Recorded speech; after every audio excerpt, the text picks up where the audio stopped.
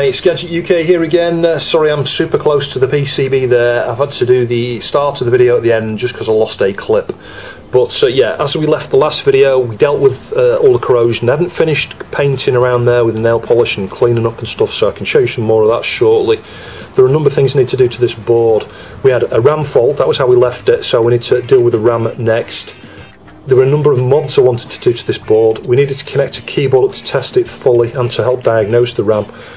But the next thing I want to do is have a look at the floppy drive, and then the floppy drive is coming from a full 2000, uh, which you'll see in the next video. Once I get that floppy drive working, actually, I ended up uh, moving on to the floppy drive you saw me fix, uh, the, the, one from hell in the previous video, if that's not confusing enough. And in fact, I can show you here, it's this drive. This is the one I've used for most of this uh, repair, actually. It's been used an awful lot to test all of these things I've been working on, no issues at all. But we'll start by having a look at the uh, what I think is a dodgy power connection on the, the floppy drive from the uh, full Amiga 2000. So doing things out of order here, this is the floppy drive from the fully cased Amiga 2000 that you'll see in an upcoming video.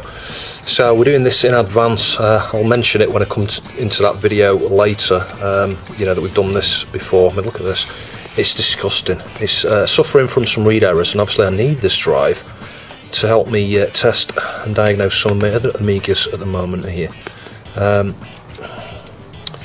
yeah, this is just unbelievable. I'm amazed this even works at all. But with some games, it's uh, it's just not loading and it's crashing and stuff. And yeah, I suspect this is why. It's all this blooming dust and dirt. So I'll collect all the dust and dirt up. Same thing you've seen me do a million times before. I'll perhaps put a link up there to some of the other videos, perhaps. Um, yeah, just collect all the dust, clean the heads, lubricate the rails and things and we're done. Yeah, so I am getting lazy because, uh, like I say, the best way to do this is just to take the board off, but I figured that I could just reflow each of these like this from this side, and if that's all it is. Well, that was worrying. I couldn't get it to read any discs whatsoever. I cleaned it three times, still wouldn't read discs. Cleaned out that sensor, still wouldn't read discs. Started panicking, thinking, oh no, I've put too much pressure on the heads there. Tried everything, and then I thought, oh, I've got nothing to lose. I'll demagnetise it. Demagnetised it, and it worked first time. I couldn't believe it. So yeah, that's the first time I've ever seen the demagnetizer bring something that's not even reading the boot sector back to suddenly working instantly, like night and day. It's like switching a switch on. So yeah, I'm very pleased with that because I thought that this drive had had it so in order to diagnose this further, I need a keyboard, and uh, A2000 keyboards are ridiculous prices. The last one on eBay went for two hundred pounds. Two hundred pounds for a keyboard? You've got to be kidding me. So anyway, I'm going to make my own up actually. I've got uh, an A500 keyboard uh, coming. Um, I think it's got some faults. Hopefully, I can clean it up. It's, it seems like just some keys don't work. I don't know which what, which revision it is, whether it's the Samsung or the Space Invader one or the Mitsumi, one of the Mitsumi ones. I'm not sure. But if you look at the connections here, this is the A500 pin out. You've got clock, keyboard data, plus five, not used, ground, active low reset, power LED, drive LED. So bear in mind, we're not going to have the power and the drive LED. You could adapt, you know, with another little uh, cable from the motherboard of the 2000 because there's a little pin header there for the LED connections, and feed that to the keyboard. But why would you want to do that? So you know, you don't need the LEDs there. I'm guessing any faults on the motherboard, the main power LED on the front of the 2000 will flash anyway, so yeah, you're not missing anything. And this is not for long term use, this is just for testing purposes. I'm going to wire this up because obviously I'm not going to have a shell to go around the keyboard, but just being able to connect a keyboard up so I can press keys is what I need here. And I can use that keyboard moving forward for other Amiga repairs and things. So I've got uh, an 8 pin header that's going to replicate the uh, Amiga side there, and uh, the side that goes to the 2000 motherboard is a 5 pin in, as you can see. So that's going to plug into the 2000 motherboard. There's going to be a cable coming off like that. Uh, I've got uh, this isn't really the right kind of cable. I need a, a shielded cable, really. Uh, but I've got six cores here. I'm only going to need four of them um, because on the five, the 2000 end here, we've only got the clock, keyboard data, plus five, and ground. These are the three connections aren't here. Now, the interesting thing is that active low reset, that could mean that, the, well, two, one or two things. I haven't looked at the schematics, so I'm theorising here. That could mean that the keyboard doesn't get reset when the Amiga is reset. But if you saw a previous video, the, there's a 555 timer on the uh, 500 keyboard, so I think it has its own reset. So I think this active low reset is perhaps when you do the uh, control Amiga and Amiga a to reset the system. Maybe it pulls that line low to reset the Amiga. Could could be wrong there.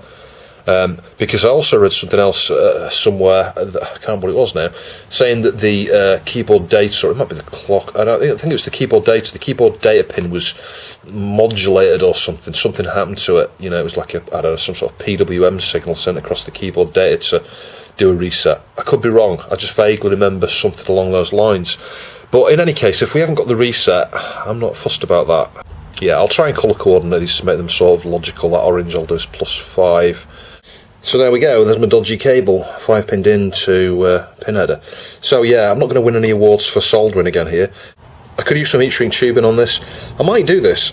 After I've tested it, if it works, I'll pull these off, I'll heat shrink these individually, but then I'll find some way to encapsulate this whole thing here in heat shrink. I don't know in theory, I could put it the wires side on. If I pull these wires down this way, you know, pull the cable so it's, it's coming down like this, then I could slide some heat shrink tubing over, shrink it, pierce some little holes, continue to shrink it, so the heat shrinks over the whole lot there, but these pins should be piercing through the heat shrink. Does that make sense?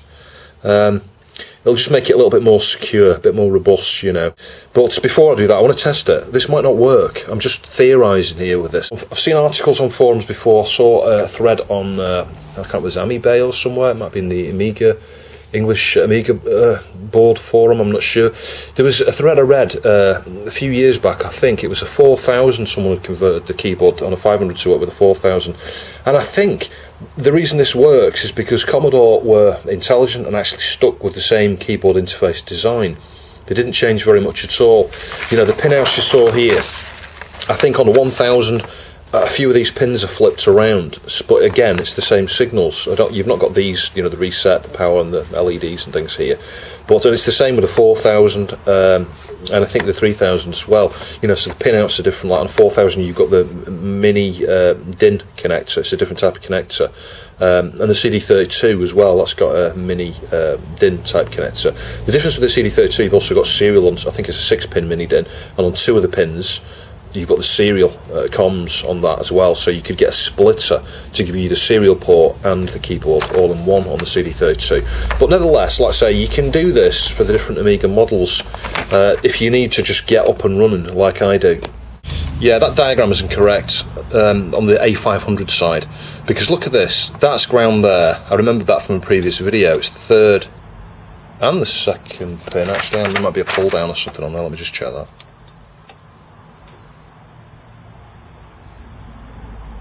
Yeah, the third pin is ground, and I'm guessing um, this pin over here, the fourth pin from the left, yeah, that's VCC. If I put that on VCC point, yeah, that's 5 volts.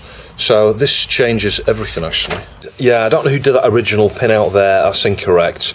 So I've put the correct things next to the pin numbers here, just ignore the middle crossed out bit there. So the, the first pin was correct, clock, second one's correct, data, but then you've got reset, not 5 volts, and then you've got plus 5 volts on the next pin down. Key that means that's the keyed pin i.e you know you don't have a connection going to that pin. Because if you look at the connector on some of the boards they'll have three pins and four pins. Uh, sometimes there'll be a pin here, but on the actual uh, part that goes over there, there'll be a little uh, plug on that pin, on the key pin, to stop you getting it in the wrong way, but not all of them. So you can get the keyboard connector the wrong way. And I mentioned that in the previous video. If you go from the third pin from the right as you're looking at the 500 motherboard, you know, um, straight on, um, the third pin is the ground. Um, and then you've got status and in use. Looking at the schematics, these look like the little LED drivers on the sides of those, which so I suspect that's those are the LEDs, which were, were correct power LED, drive LED. They might be the wrong way around, but yeah, I think that's right actually. So there were just a few things there. The plus five was wrong, and uh, the ground was wrong. So keyboard adapter plugged in, keyboard working. So testing the fast mem here. You can see we do indeed have a fault. So yeah, I was right with that. Uh, you can see bit 7. Uh, now the interesting thing here is it's showing it up on the upper uh, block, the upper uh, word there as well, you know. Whereas it's only 16-bit, the system, it's got 16-bit RAM, it's got 16-bit data bus, So uh, that's a bit odd actually. I'm not sure if it's frozen at that point actually. No memory found, press any key. Why is it only saying 16k? Let's just do... Yeah, the interesting thing there is it says fast 0k. What is going on here? Test detected fast mem.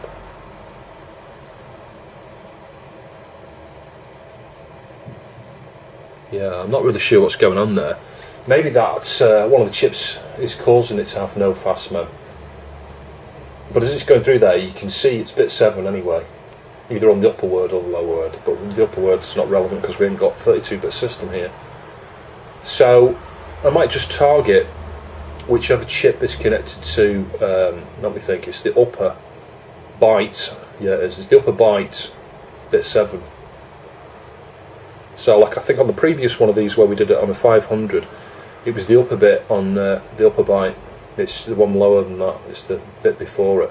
But anyway, I should be able to perhaps uh, measure around on connectivity. I think and trace it through. I mean, bear in mind the data bus is not directly connected to the CPU there. It's, it's buffered, I think. Um, but anyway, I should be able to work it out. So to reiterate what I said before, we are testing off the floor here. Uh, it looks like this carpet, but there's a good inch uh, height. You can see I've removed a chip from here. This is the one that sits on D14 on what I believe is the fast. And the way I, I guessed, these chips here get warmer. And I think these are the, you know, the chip is in use more of the time because it's used all the time here for the main code when the diagnostics and the, the slow, you know, pseudo fast isn't. Um, so I removed that chip to test without that chip. As you can see it is working. So that just shows that actually it is the uh, the, the, fast not the chip. I'm just going to connect the keyboard up and we will go into memory tests. Uh, test detected chip mem.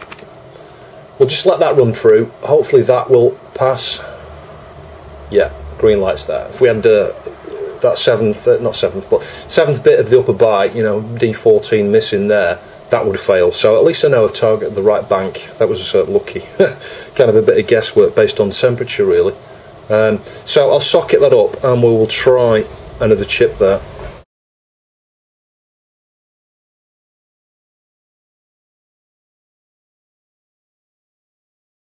So I've got the replacement chip on there. It's too early to celebrate until I've done the test, but can you see down here? 512 fast. It was not showing that before. So if I now go into number two, number three, yeah, detected 512K. Let me zoom out a little bit, and it's going up in blocks. Hooray! It looks like we've fixed it. I think.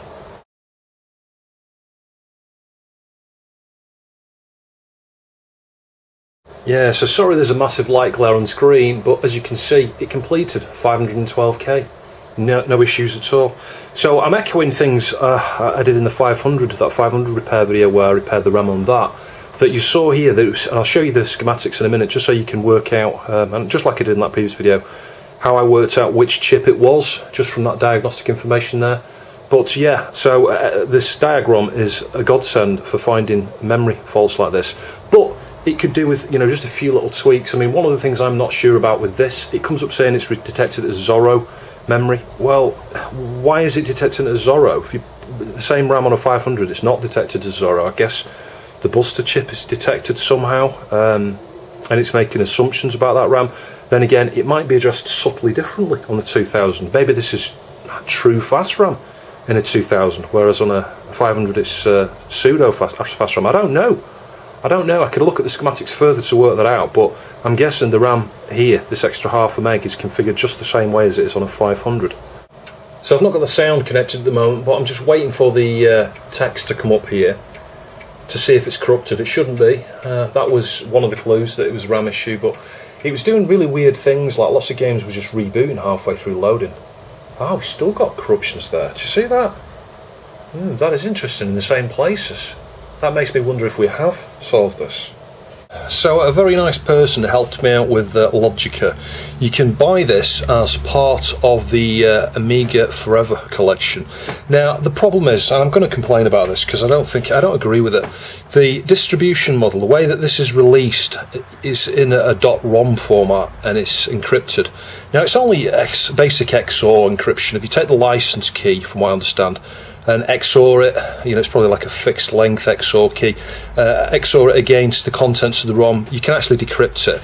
So the person who's given me this has done that himself. Um, I uh, will be purchasing a copy of Amiga Forever at some point. Uh, I just haven't got around to it. But I don't like the way that it's encrypted like that. Because the only way you can use it is with WinUAE. Well, who's going to want to run the diagnostics BIOS with WinUAE? That's just ridiculous. Why? What do you want to diagnose in WinUAE? You know, unless you're a developer of WinUAE, you know, the emulator there for uh, the Amiga. There's no reason to even use this with that. So I don't like the way that it's been locked down that way. I would prefer if they'd given this, you know, made made this available a license fee so that the original developer of this could get some money from it. You know, and we could just you know, buy the actual ROM and program it to a chip and actually use it. Even if it was 20 euros, I would have paid 20 euros just for this ROM. Yeah, but if you want to get hold of this ROM, get Amiga Forever uh, and decrypt the ROM, or just ask your friends, someone's bound to have a copy of it. But that really annoys me. But anyway, the reason I went looking for that, as you'll see, because DiagROM was passing the RAM. You know, we, we found that first chip there, was uh, bit six, well, it was the seventh bit along. You know, of eight bits, it was the seventh bit along, and I found it straight away, hit it first time. But then DiagROM was passing the test, no problems at all. Now, I remembered uh, what I pointed out in a previous video when I looked at that 500 RAM fault we had. That uh, there's a deficiency in DiagROM. It doesn't test uh, any everything to do with memory, so it does no address testing whatsoever. So if you've got a problem with an address with addressing, you know you've got a CAS fault or a RAS fault on one of these DRAM chips, uh, I picked the wrong chip there, it doesn't matter, the wrong system, it won't tell you. So we're going to test the Ranger configuration, right to configure, so let's do that. So we, we can go up and down here, see so number of RAM chips, 4, well there isn't, this is the one that's got 16. So 16 uh, chips, uh, and then the number of bits per chip, these DRAM chips here have one uh, data bit there and uh, we'll do we'll just do fast let's just try that. Uh, and then if we press left in fact we need to do calc configuration let's do that. Yeah there we go. And if we go to exit and you can press the left button to exit and test or right exit only so we'll do left to exit and test. And it should tell us exactly where the fault is hopefully. There you go we've got a fault already a specific address and you can see straight away here it's coming up and it's telling us it's uh, D13 so the one we've just done the one I did with the help of DiagROM was working out as the one below it actually. So we swapped one chip already at D14 and so it's actually uh, I think in terms of di DiagROM yeah it was the seventh bit wasn't it? Instead of the eighth you know the eighth is D15 seventh is D14 so we now need to do the sixth one which is D13 so, because I know this is in the same block, you know, we're in this testing the slow RAM here, this is in the same bank as the other chip, it's just going to be the chip next to it. I'll confirm that, I think, by looking at the schematics, and I'll show you a page of the schematics. But so I'm just going to target the chip next to it, we'll remove that, swap that out, see if that fixes it.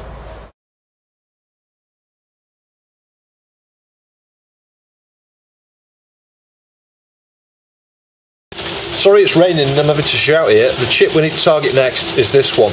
This is D13 of the fast RAM. So I've removed the solder there, just using the solder pump. Uh, I'm going to pull the chip from this side, have the board on its side, and heat the underside because I want to try and avoid damaging that socket. Heat the underside with hot air. I managed to not melt this socket at all, so that's a good sign. You can see it's just a bit dirty, so I'm just going to clean up the contacts on some of those now, and we'll get a socket on. So just something else I want to show you here, and this is why in the first part I think I made the mistake of talking about fast memory and slow memory, you know, mixing everything up. Because can you see down here, this has got what they call 512k of Ranger RAM, but it's also uh, classed as slow memory. And yet, can you see here, fast memory 512k? And this is the thing, there's been a lot of uh, confusion within the uh, scene, if you like, when this when they introduced these different types of memory here. So, you know, it's classed as Ranger memory. If I click that and test it now with a replacement chip, you'll see it works fine. No errors at all. That's all fine. Uh, now, I'm going to put the original ROM back in. I'm just going to uh, boot uh, systest. And you'll see, uh, you know, systest is perhaps even more accurate because that does refer to it as slow RAM, as you'll see. Yeah, so just booting systest, and incidentally, the floppy drive I'm using here is the one from hell that you'll have seen in a previous video. So if we go into memory now, um, you can see that it says chip 0.5 meg, fast 0.0 meg, slow 0.5 meg. So there you go. So this sys test is uh, the most accurate in terms of referring to it correctly as to what it actually is. You could class it as Ranger RAM, but then isn't Ranger RAM the fast RAM or is Ranger RAM the terminology for slow RAM? Um, fast RAM, you know, just to clarify, what is fast RAM? As I mentioned, uh, and I got this correct in terms of the description, fast RAM is RAM that's connected straight to the address bus and the data bus of the CPU. There's nothing in between it, there's no buffering or isolation. So if the CPU addresses a specific address, you know, i.e. that fast RAM, it can address that fast RAM. And well, that's assuming it does it at the right time and there's not something else using the data bus and stuff. But so the idea being is that the CPU's got its own dedicated RAM that nothing else can interfere with. It doesn't need to wait. Um, it may well be that the um, its data bus is isolated from the rest of the system there because Agnus is doing some DMA transfer or something to chip RAM. That doesn't matter. You know, your CPU, in theory, can still access your fast RAM. That's the benefits of having fast RAM. That's why when you've got a faster processor, adding fast RAM to a faster processor can speed things up significantly. Uh, one of the things you can do once you've got proper fast RAM is uh, sort of cache, if you like, the ROM kickstart in that fast RAM, and then uh, you know, without, it's very clever the way it works. But any calls to the ROM then are directed to that fast RAM. So if you've got I don't know a 16 megahertz CPU or a 33 megahertz CPU instead of the stock 7 point whatever, those that's going to be far, far, far, far, far quicker than it would be addressing it from ROM, and ROM is slow compared to RAM but also you've got that super fast clock speed as well. So that's where fast RAM is uh, super useful in these systems, and it's preferential over slow RAM. Uh, and slow RAM is going to be slower than fast, much slower than fast RAM, and slower than chip RAM. Uh, pro probably the same sort of speed as chip RAM, I would think, because it's going the same way. It's via accessed via Agnus.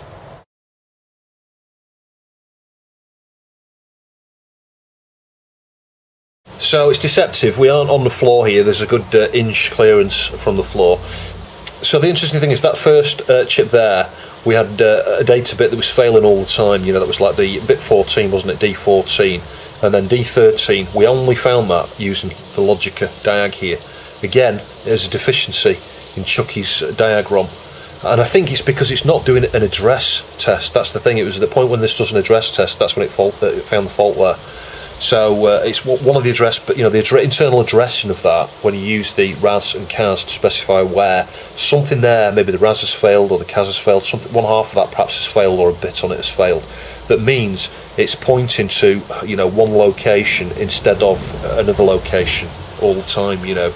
So the only way you would determine that is with an address, you know, where you're testing, um, I don't know, different bits at different addresses there. Maybe the walk test through the different address ranges for that bit that's the only way you would spot that. So just to uh, kind of burn in this board and test the RAM there, I've had this going around for a few hours now, just doing a test on that fast RAM actually, and as you can see, no errors reported at all. So I think it's okay. It was just those two chips. So the next thing I want to do to this now is put a CR2032 button cell holder here. Uh, it'll just make this area look a little bit better. It's covering up some of the damage and stuff there. I've looked at the schematics. In order to do it on this board, it's as simple as removing this resistor here that feeds the battery and putting a diode in. Now, I've gone for a low uh, voltage drop diode, like a Scotty, uh, I can't even say it, Schottky diode, is it? I call them Scotty diodes. Um, yeah, I think it's like 0.15 volts um, and it's switching uh, voltage there. So uh, you don't lose a lot of the, you know, the voltage from your battery because you, what you're going to put on there, 3 volt cell, CR2032, 3 volts. If you use a normal diode like a 1N4148 or something like that, you're going to like lose 0.7 of a volt or something, uh, roughly. So 0.15 is ideal. Um, I just need to make sure it's the right way around. The idea is that the diode stops the 5 volts that normally comes into, I think this is the positive side, the positive side here. Um, it'll stop that, that going into the battery if you see what I mean because I think the way it works is the 5 volt comes through this resistor into the battery. So we need the diode with this anode on the positive side here and the cathode going to where this resistor would be fed from if you see what I mean. So the, the diode will go here. Uh, I've just soldered uh, the points here in advance added a bit of fresh solder. You can feel the resistor on the other side. Yeah, one side's going to be easier to do than the other. I think this side might be the easy one. Yeah, most of the solders come off there on the first path, pass. This side could be a problem because there's all this uh, copper here.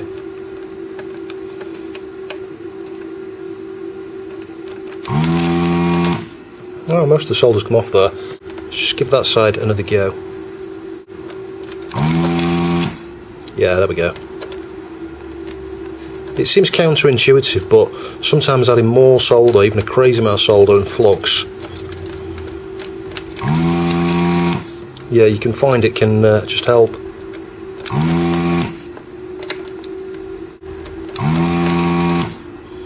Yeah, that's not too bad. I think I might be able to pull it from the other side as just lightly heat it. So all I need to do now is measure on, well, clean the pads up here because they look awful, those. Measure on continuity. This is the positive of the battery. One side is going to have a direct short, to that side. So, what we want is, let me think about this, the anode on this side, actually. So the battery can only feed into the circuit. The circuit can't feed the battery, that makes sense. Yeah, so the band's going to go down this way this I'm guessing this side goes to one of the pins on the chip here yeah it goes to that corner point there yeah that's right so I just cleaned up the uh, pads there with the fiberglass pen just cleaning off the gunk from underneath there because obviously you know some dirt gets under these components and things. The corrosion kind of stopped just, just around this area as well but anyway that's that so the next thing is the diode. I can't remember the part number of this at the top of my head. I'll stick it up there. Uh, so we'll just uh, carefully just uh, pull one of these out. And as I say the uh, band is going to go at the bottom. So yeah I just need to work out how much of a bend I need in these it's going to be something along the lines of that I think it will straighten itself out as I pull it into position yeah before I commit to soldering that I'm just going to just measure to here again just to make sure I've got that the right way so as you can see, you've got lovely CR2032 in there. Let's go and test it. So I set the date and time on this well over a week ago now, and as you can see, it's held the diamond date. That's correct, it is Saturday 20th of July, and it is half past six pretty much. So, yeah, that's fantastic. Uh, I'll show you what the commands are for that, uh, just so you're aware. I've covered it on another video as well, on one of the 500 boards, but nevertheless, it won't take a sec. So hopefully you can see that. I'm using the 500 keyboard here. If you type date, uh, sorry, did I press the right key there? I think I might have pressed shift or something. Sorry, I can't type. I'm typing at a weird angle. There we go. Date. Nothing to do with the fact I'm using the Amiga 500 keyboard. It's just the angle on. So yeah, it's echoed it back, but I can do 20 in July. This is how you do it. Dash 19. So that's how you set the date. And I'll just echo that back. That's what you would do just to make sure it saved it. And then the time, strangely enough, use the time the, the date command again. So uh, I'll just put the same time, 18, 31, uh, I don't know, 30. Did I press that? No, I didn't. Hang on. Yeah, there we go. And if we echo that back, yeah, excellent. So at least you know how to do it. So the other commands you then need to do is set clock, opt, save, and as soon as you do that, it's committed to the real-time clock chip. So the other thing I'll cover, there's a number of jumpers on the board. There's one there, one there, one there, one there, one there. Uh, and I think one wired one here, J500. You can put an 8372A in here, you know, to give you one meg of chip. That is totally possible. I think it involves using J500 might be one of these. Uh, two, I think three three jumpers in total. You have to change. One of them, obviously, this one here, you'll have to cut on the board. You know, it's, it's a little bridge across the two. You'll have to cut that with a knife. But then it's just a case of changing two of the other jumpers. One of the jumpers shifts the memory start location for the second bank, I think. Um, but anyway, yeah, three jumpers, and you can put an 8372A in here. So. Uh, is that the right part number? 83728? Yeah, it is. So I might get one of those at some point and upgrade this to a chip, uh, one mega chip. Uh, I'll cover that in another video if I do. But the one I was going to show you here is this little jumper. And when I got this, it was across actually, and I just pulled it across, um, so it was only on one pin. I'm going to put it back now. what that does, that enables DF1, you know, a second floppy drive. So what was happening with me when it was booting to the desktop, it was saying DF1 question mark, question mark, question mark, I think, because obviously it couldn't find the uh, second disk drive. But uh, I've been using uh, a drive that you may or may not have seen. It's one from Hell in uh, a previous uh, or an upcoming video. I'm not sure which. I'm going to connect this drive up, um, so we'll have both uh, DF0 and DF1. So we need to connect the power for this one. The cables could be a bit of a challenge here, just because of the way I've got the power supply. So get that the right way up. That's correct. Uh, we need to get this on here. Now the thing is there, see that jumper? That's when it's set to DF0, so I need to move it across one to make it, uh, if I can do that right, I'm not getting it in the right place there. So there we go, that's moved down one. That means it's in the DF, uh, let's try and get this cable the right way around now. Wants to go that way, I think. Yeah, that means it's, is it that way or is it that way? Because that drives the opposite way around, I think it goes that way actually. You've got to be careful with these cables. Problem with these ones, there's, a, there's no mark to say, well there is, there's a blue stripe there, but nevertheless these drives are the opposite way around. But if I boot up Workbench now, and then I'll point you with the screen, I'll put uh, Workbench into uh, DF0, that's the bottom drive, the, uh, the drive from hell, and then I'll put the extras disk into this drive here. Yeah, and I heard it reading from the other drive there when it was booting, but you can see now we've got Workbench in one drive and extras in the other. If I go into extras, yeah, that's the 2000 style drive. This is the one from the 1200. Sweet.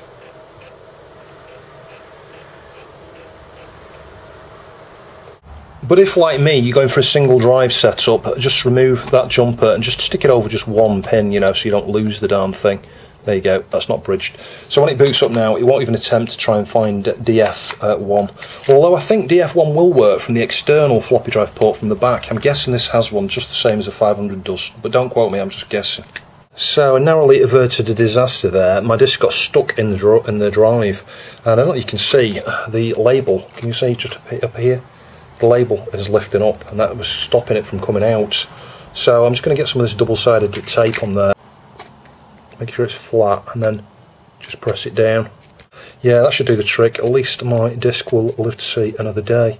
So as well as doing the battery mod to this there are a number of other modifications that I think I need to at least consider doing to this board. These Rev 4 boards, there were lots of different mods that Commodore did and technicians and engineers out in the industry that worked out themselves perhaps, uh, but I think ultimately most of them came from Commodore and there were perhaps changes and revisions that made their way into some of the later boards like the Rev 6. Now I think my other board, the one in the cased Amiga 1200, uh, 2000, is a Rev 6 actually, so that'll be interesting to look at. It's got, only got four uh, RAM chips per 512K, you know, so there's 8 in total as opposed to the 32 RAM chips you've got on this one. But anyway, nevertheless, some of those mods, uh, see if I can find, there's a bit of paper somewhere I've just printed off. Yeah, here it is. This came from Ian Stedman. I'll post a link to his blog below. He's a really, really smart guy. He does a lot with Amigas. Uh, and I think the original article came from Eric Parsons, someone, I think he was based in the States.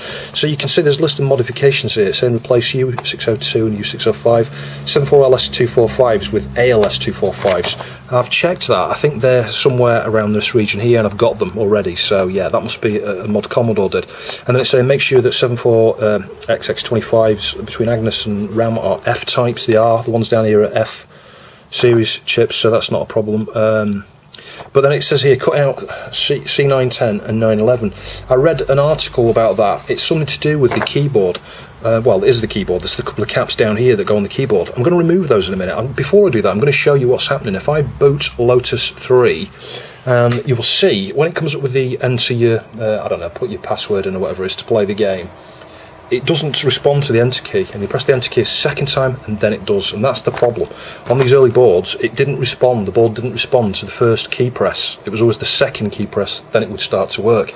And that's why you had to remove those caps. So it'll be a good opportunity to show you before. We'll remove the caps and then test it and see if, it's, if it works afterwards. Uh, there's a mod to do to the power supply here. So we'll come to that in a later video when we recap the power supply and give that a bit of a service. But there's a number of other things, you know, check proper usage of ferrite beads at video connector. This one has them.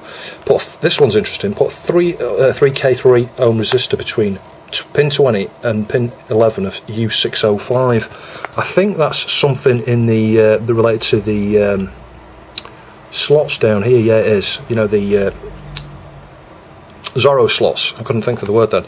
So yeah, I'll check if that has been done to this. If it hasn't, I'll add that on there.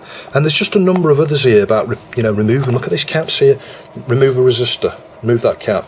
That's one of the keyboard ones, I think, because that's the same. Is it C10, C11? Uh, yeah, C10 and C11 already there, but there's a couple caps and a resistor to remove, and then more caps, C905, 908, 230, 240, a bunch of caps to remove there on these early revision boards. Uh, I'm a bit nervous about doing that because there's no explanation of why, but I do know that I trust uh, Ian and I trust the guy who wrote this blog. So if my if my board's got these, I certainly will remove them. Uh, I'll perhaps put them in a bag just in case I need them uh, moving forward. But yeah, and there's a bunch of other things here. There's a bunch of others here, you know, it tells you on certain revisions boards you might have resistor left of Q302 instead. Yeah, replace all Gary chips 5719 with MOS types.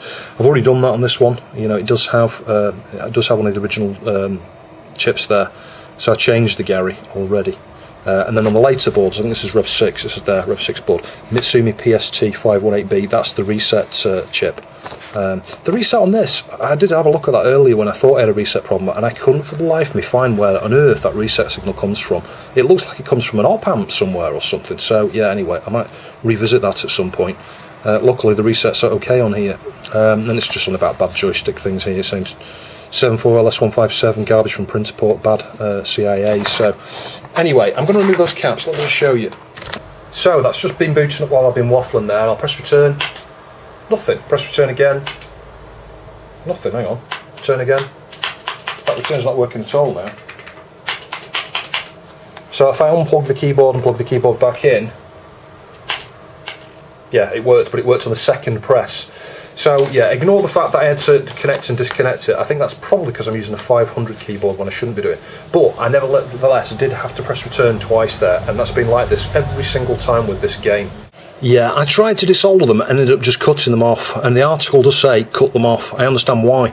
Because under here, the, the one side of them is all ground, and it's like the hole underneath the back end of the board. It's like you'd spend ages trying to desolder those with an incredible amount of heat. So yeah, just snipped off uh, C2, uh, C911 there, and C910 from here. Um, so we'll give that a try.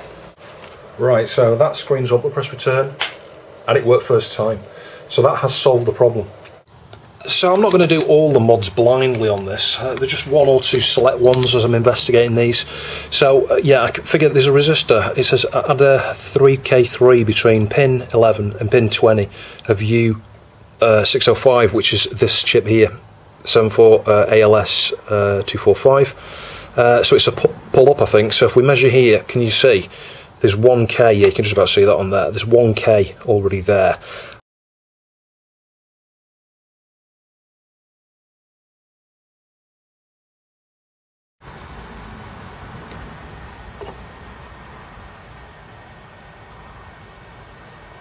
That'll do. So the first game I want to test here is Dune because this was not working. It was crashing here. It crashed at that point. After that message came up, it would reset. And I think this is because this is the point where it uses that slow RAM, you know, the pseudo fast RAM. And I know that because if you try and boot this on 500, at this point here, just after that message and that cursor comes up, comes up saying insufficient store or something like that, I think. Insufficient free store, I think it says. Uh, and that's because you just got a 500 with 512k chip RAM. If you add an extra 512k, you don't get the message.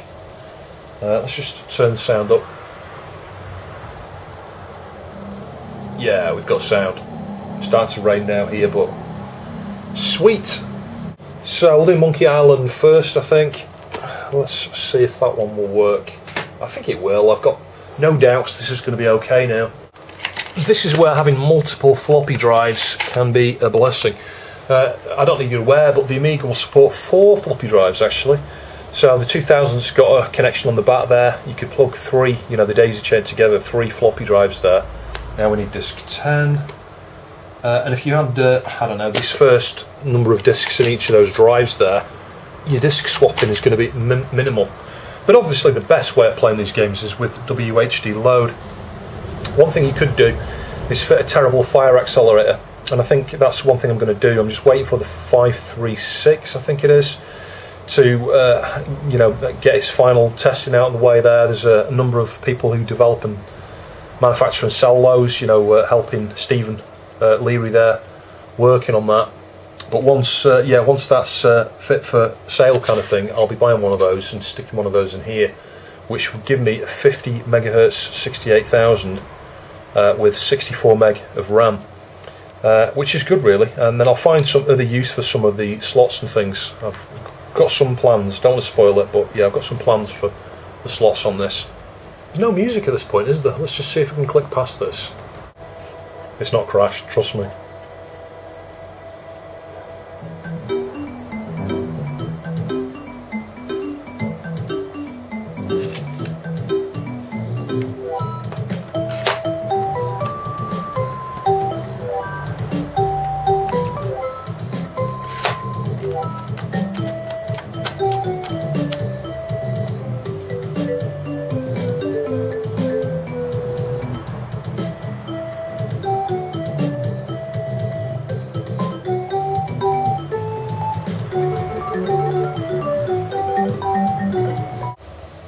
And again we have complete success. Still loading. You always get that little pause there as I mentioned in the previous video I think. You can see the little Indiana Jones logo flicker flicker in there's a little pig somewhere ago yeah sweet. So I've tested a load off camera but I'll just show you this one as well. This was one that was absolutely not working. It just reset before that even came up actually. So yeah that's working now as well. This is another world Jamie Morgan played this game actually recently on his live stream. I might stick a link down below just in case you're interested. Um, yeah, he played it all the way through and uh, beat it. It's amazing actually. It was amazing to see him complete it. I don't know how on earth anybody worked out some of the puzzles within this game back in the day. Uh, or even these days, I look at it now and it's such a hard game. How do you skip this? Can you skip this? I don't know. I always thought you could skip this. Oh, I can't skip it. Anyway, you can see it is working. I think I've got the French version. Um, I mean, it, I think it was developed by French software house anyway, so it was Delphine, wasn't it? It might well be that they've all got French text on this part here when it comes up. I'm not sure. It's not really relevant. You can understand it because the words are very similar.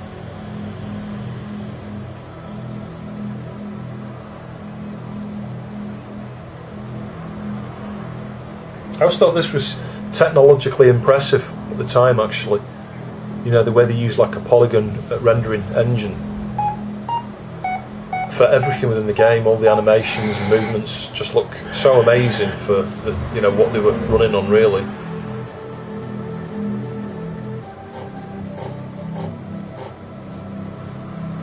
Bonsoir, Professor. You come in the Ferrari or something like that I think that says. Or I see you came in the Ferrari maybe.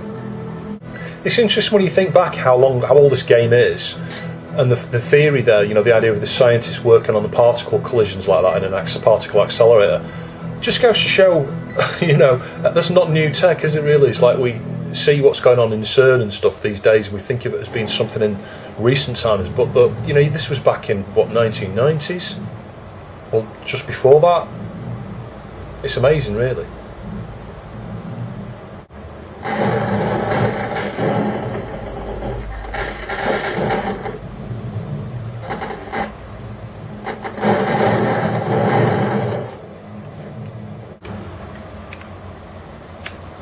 And then I think this is where I always get killed. These darn things. I think you can squish them actually, can you? Yeah, you can squish. Yeah, that one nearly got me. And then I think uh, I've got some more. Look.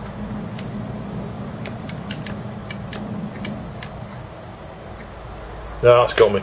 Anyway, you can see it works. Yeah, this 3K 3 ohm resistor here between pin 20 and pin 11 uh, of one of these ICs here is U605, isn't it? That one.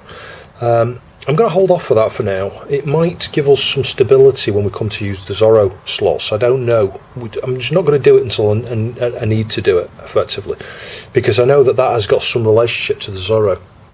And then in terms of this long list of components here, these ones with the crosses through, they're already removed. Commodore already removed them from this 4 point whatever revision it is. I'm guessing it must be a 4.2 or a 4.3 or something. So all those don't exist. They've been removed. They're not even fitted. You know, they were never fitted by Commodore. Um, those two were never fitted by Commodore. The two there are just duplicates of these two here. So I've cut those off to fix the keyboard issue. That leaves these two here, 905 and 908. And what I've been doing is investigating each one of these myself to understand what it is I'm doing. I wouldn't just blindly just follow this and remove them.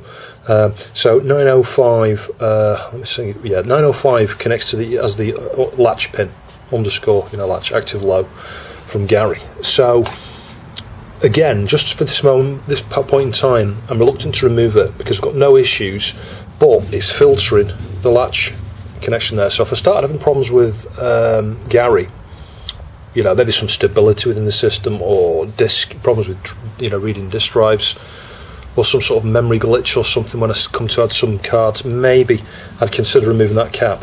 But all that's all it's doing, it's just acting as a, a filter there on that uh, signal. And it's the same thing with C908. That goes to the CCKQ pin. That's one of the clocks I think that comes out of Gary. Normally I think that goes to like the expansion, um, memory expansion interface. I think, I could be wrong.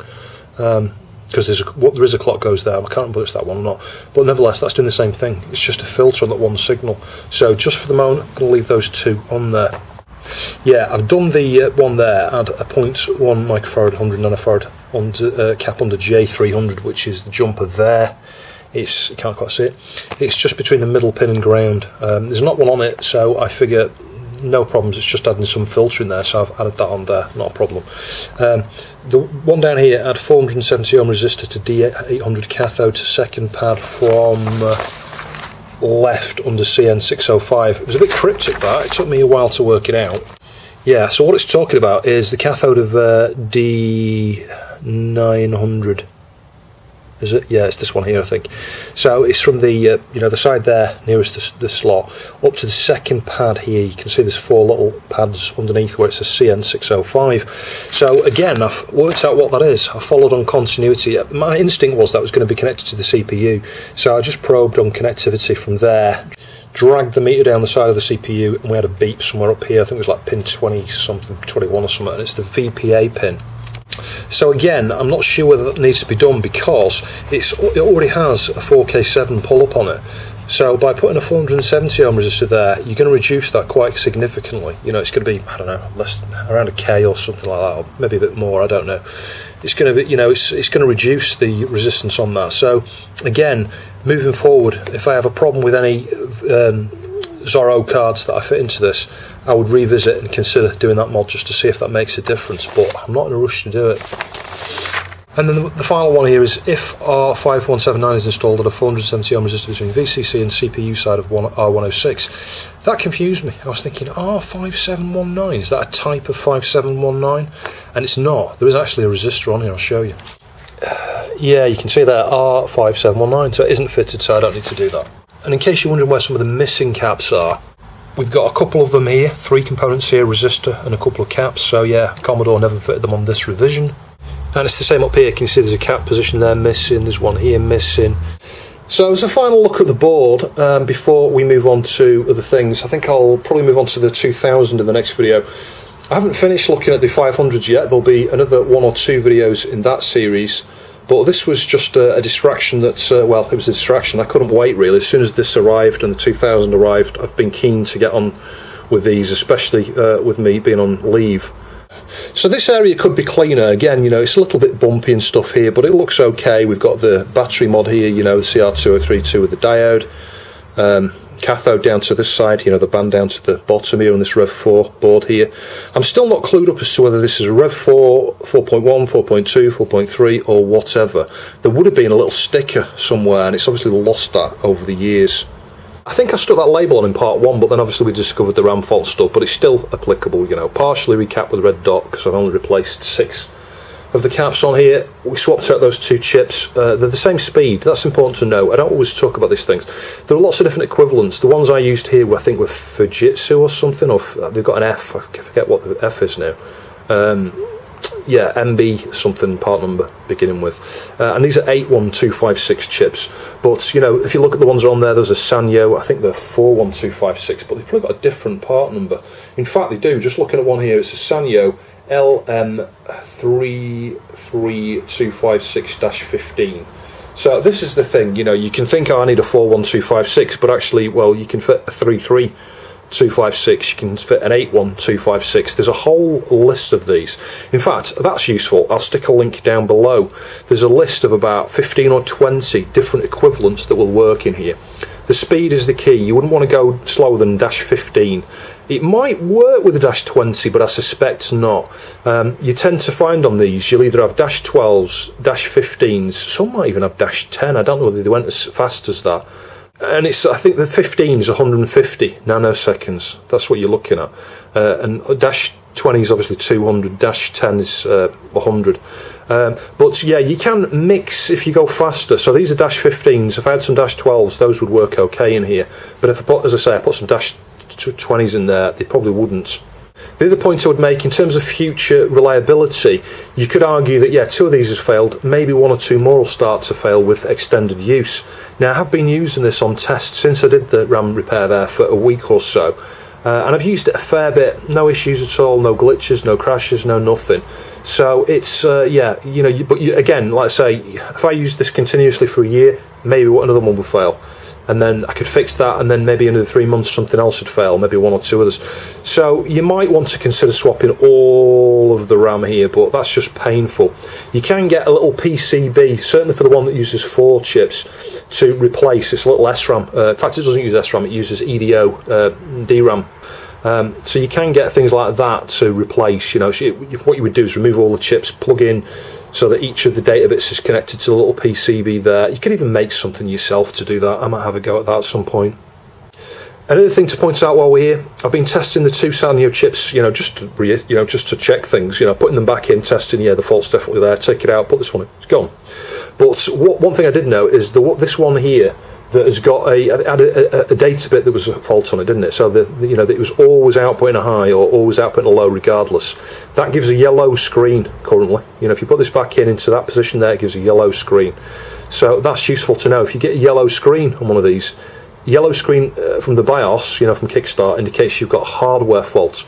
But it could just be something as simple as uh, bad RAM bad RAM on there. So, because that's the first time I've seen a yellow screen that way. I think I've seen a yellow screen before with either a faulty Denise or a faulty Agnus, but it's super, super, super rare to get that kind of behaviour. But so I just thought it was interesting to point out that DRAM can give you a yellow screen. But more often than not, as we saw with the, the chip that was in this position originally, um, you know, you get failures at certain addresses and things, and it can be glitchy and intermittent. You know, so the system was doing its normal. You know, the kickstart like goes dark grey, light grey, white, and it was booting. Um, uh, DiagROM here, when we had DiagROM in here, it was happy as anything, no problems at all. It was only Logica that helped me find that, and SysTest also is just as capable at finding that type of addressing fault where you know, and I'm assuming that the, not this chip because this is the one that's got a faulty um, data bit on it. You know, the actual input output pin is constantly high.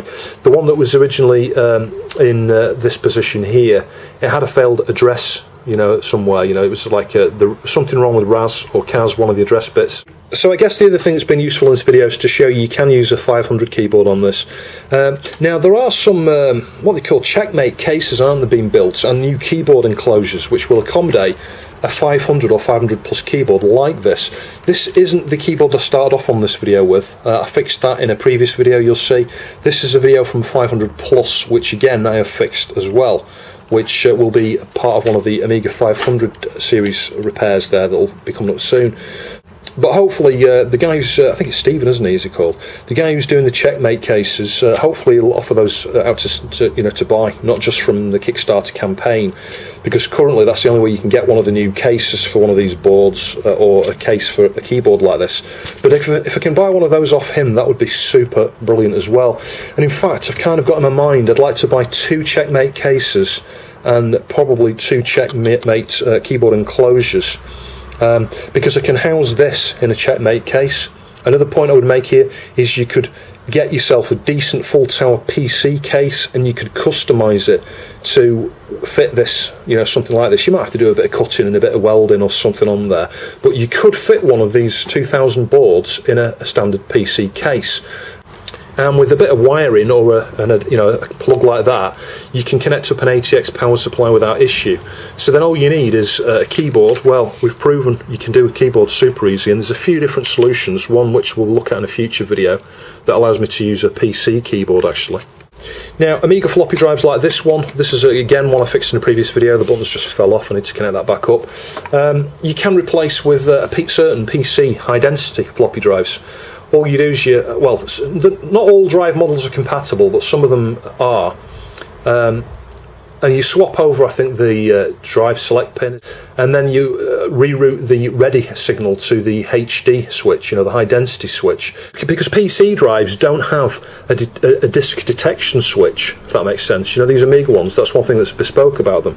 They have the, the uh, write protect switch there, but they also have another switch that when you put the disk in, it detects that there's a disk in, so then it starts to boot or read from it, etc. PC floppy drives typically don't have that, but they will have over here a high, high density switch to determine whether it's a HD disk or a, you know, a standard definition disk, double density disk. 720k or 1.44. So if you use that switch in place of the uh, disk detect switch, you know, it goes to the ready pin, you can use a standard PC floppy drive. So anyway, all that waffle aside, the point I'm trying to make is you could if you bought a board like this, and there are some of these available on eBay, um, there's one unpopulated up now in the US. I think it's about 30 quid or something with about 20 pounds shipping. There's no chips on there, so you could populate the chips. You need to find a buster. Uh, you could build yourself a 2000 without too much effort. And if uh, those cases come uh, available from Stephen, you know, the Checkmate ones, again, you could have a really sweet uh, big box Amiga system just by purchasing one of these boards like this and fixing it. So I do hope you found the video interesting. Please like, share and subscribe and I'll catch you in the next video.